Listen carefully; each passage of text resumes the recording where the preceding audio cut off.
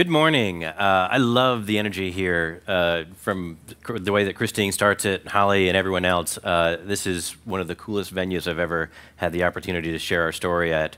So, I'm going to tell you this morning how we are connecting the audacious world of asteroid mining and space resources with managing and monitoring our own resources right here on Earth. Uh, and you did hear it right, asteroid mining. Uh, it, it is uh, the stuff of science fiction, I think quite certainly. And what we're working on is turning that science fiction into science fact. So our goal at Planetary Resources is to use technology, use remote sensing technologies, robotics. Uh, we can land a rover on Mars, we can put a man on the moon. Um, we can take commercial technology out to really create uh, that spaceship Earth uh, that we uh, heard about earlier this morning uh, and create it everywhere that humans may go. Uh, we are modifying and mastering our environment with every step we take. And the one thing that I think is often most misunderstood about asteroid mining as a new topic is that we would go out into space for the sole purpose of bringing all this stuff all the way back to Earth. And in fact, the first step that we'll take is almost exactly the opposite. We're going to go into space and use the resources in space to be able to survive and thrive there and use those local resources just as the way we have uh, for eons here on Earth uh, and be able to, to master that.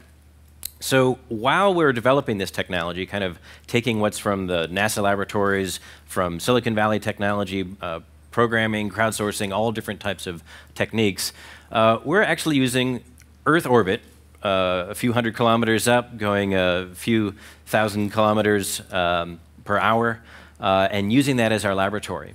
And uh, last year, uh, we were uh, starting towards developing first sensor technology, which I'll tell you a little bit more about this morning.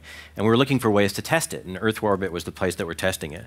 And what we found is using that sensor that was designed to characterize water, uh, the most precious of all resources in space, and certainly a very precious one here on Earth.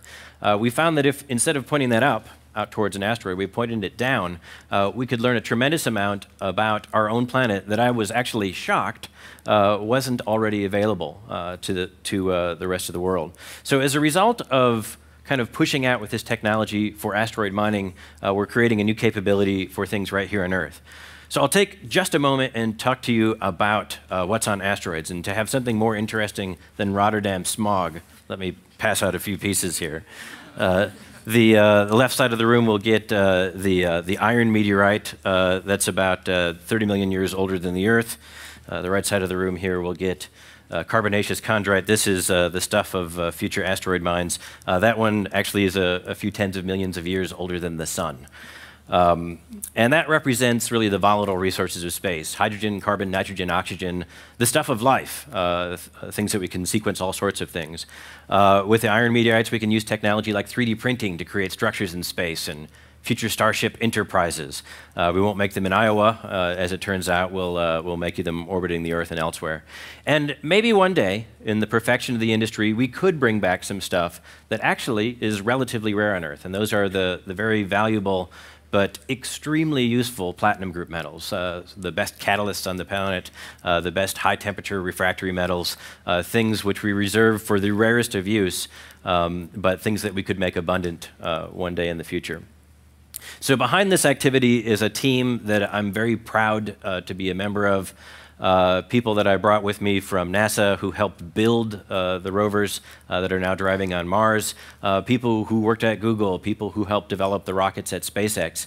And uh, also uh, with my co-founders, Dr. Peter Diamandis, founder of the X Prize, creator of a variety of different moonshots and using incentive prizes and incentive compositions to, to competitions to change the world. Peter and I have had a, a great amount of fun in, in developing planetary resources. And if you're looking for a ticket into space, my other co-founder, Eric Anderson, can sell you one to go to the International Space Station. So uh, this is a, a, a, team that really is looking to take this technology. The, uh, on the left, you see a picture of me with a full-size, completely functional, uh, uh self-contained space telescope. That's how big it is. Uh, so it's actually larger than life up on the screen right now. And we're working on launching this next year. And uh, in just two months, we're going to put on a SpaceX rocket from Vandenberg Air Force Base. Uh, the guy up on the top there with a little Stormtrooper Lego. This will be the world's first commercial infrared thermographic imager. And what we were surprised to find, uh, like I'd said, something that was developed to measure the water cycle and to detect uh, temperature differences on asteroids. Uh, when we pointed that down, we realized how much we could tell about planet Earth. And what we're working on developing this into is a capability where we can, on a daily basis, in fact, twice a day, be able to monitor every acre of cropland on the entire planet.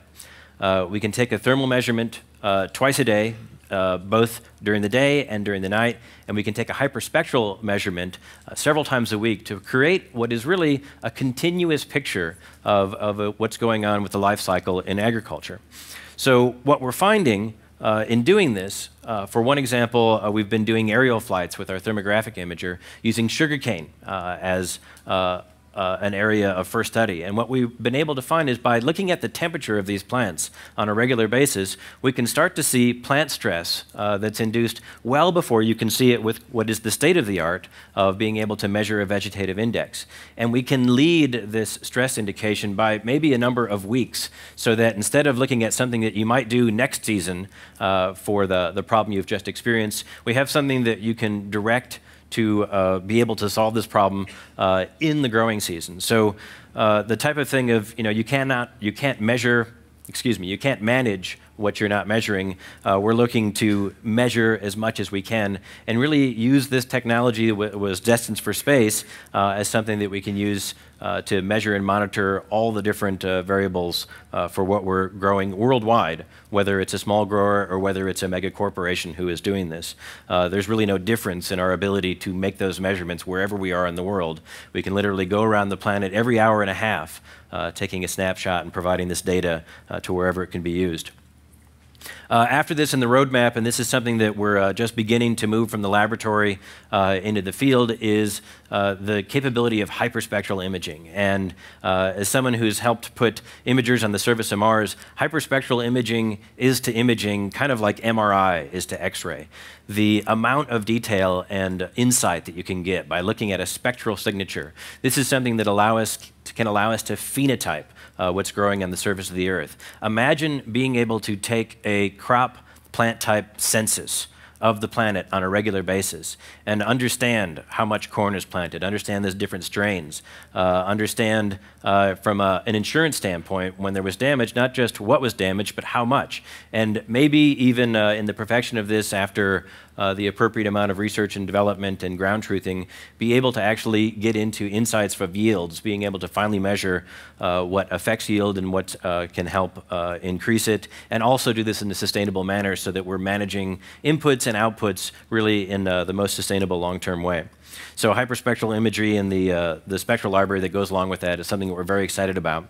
Another thing that we really had to work on is when we're 100 million kilometers away at a near Earth asteroid on the other side of 10 minutes at the speed of light to get out there and 10 minutes at the speed of light to come back.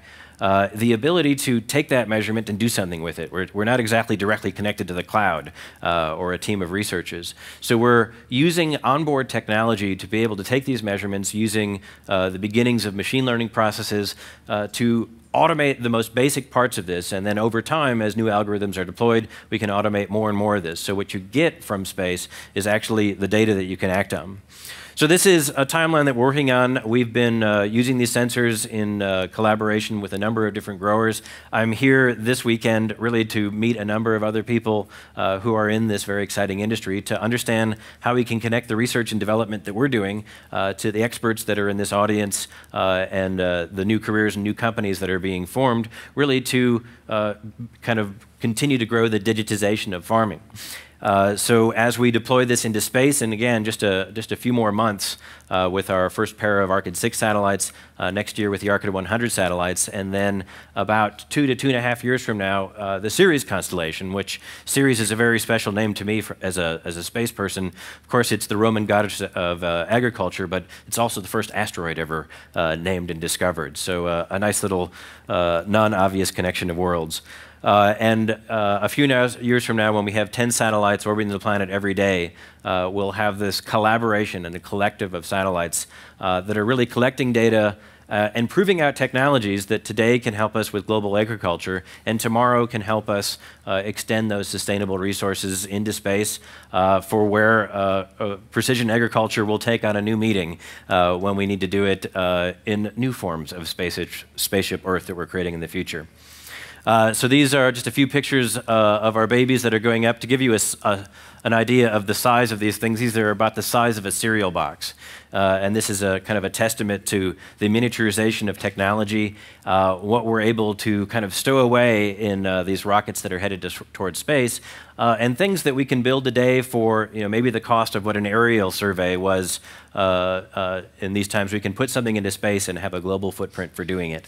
Uh, so very excited to share this progress with you. Uh, we're growing our team, adding all sorts of expertise, uh, including the data pipeline, the analytics, uh, and of course, spacecraft engineers, uh, business types, and all sorts of others. Um, very excited to connect what these might be two different worlds, uh, quite literally, and happy to be with you all day and happy to answer any questions throughout the weekend. Thanks a lot.